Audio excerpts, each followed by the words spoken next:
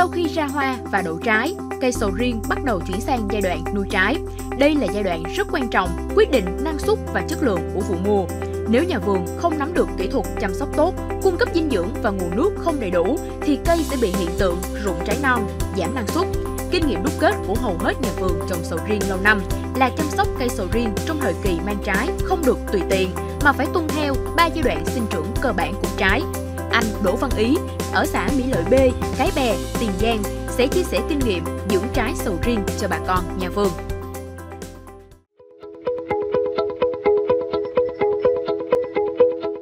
Kính thưa bà con nông dân, hôm nay tôi xin chia sẻ về cái kinh nghiệm mà nuôi trái. Thì khi bông sầu riêng sổ nhị trên 80% thì mình tiến hành phun công thức sau khi lúa mắc cua. Với liều lượng là khoảng 3 3 lít xi cộng cho khoảng 250 đến 750 amino tùy theo cái cái bông mình mập hay ốm và tùy theo cái bộ lá, tùy theo lá.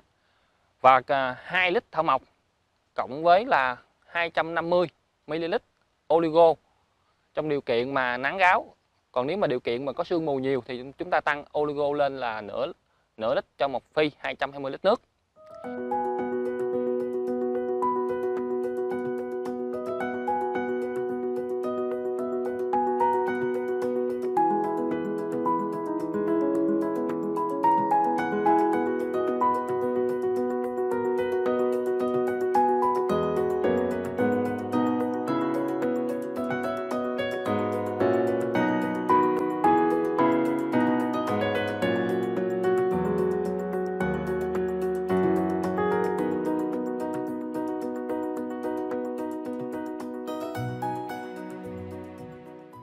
trong giai đoạn này thì à, chúng ta phải thường xuyên thăm vườn, nhất là trong cái giai đoạn mà trái cỡ trứng gà thì à, có rất nhiều sâu.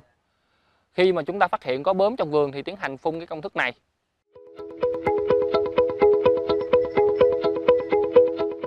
Trong giai đoạn này chúng ta vẫn sử dụng công thức sau khi lúa mất cua, nhưng phải tăng si lên 3 lít và thảo mộc lên 2 lít, cho một phi 220 lít nước.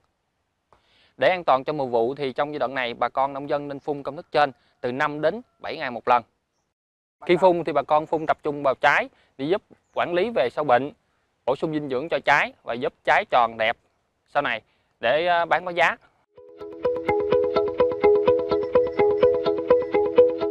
Sau, sau khi cây số nhị từ 10 đến 15 ngày thì bà con nông dân nên bón á, mỗi cây từ 1 đến 3 kg tùy cây khỏe hay cây yếu và mỗi lần bón cách nhau 10 đến 15 ngày.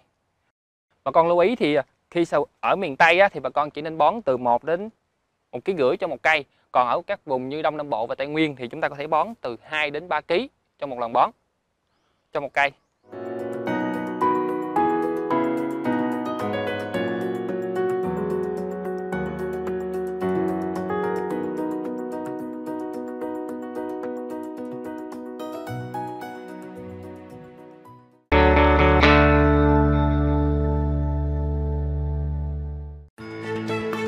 Mãng cầu ta hay còn có tên gọi khác là quả na là một trong những loại cây ăn quả đặc sản, hiệu quả kinh tế cao.